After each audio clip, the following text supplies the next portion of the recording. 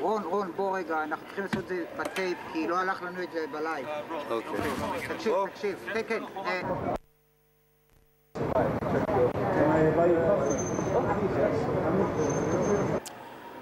Uh, the condition of Prime Minister Sharon uh, is still uh, critical and stable. There has been no change during the night.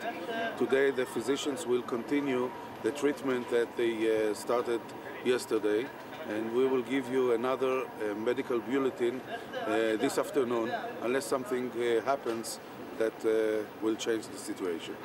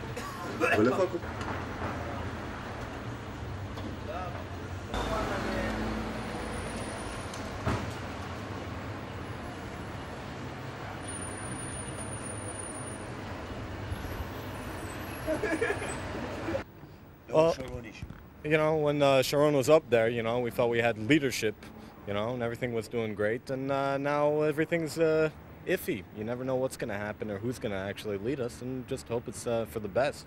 You know, we'll have uh, another great leader out there.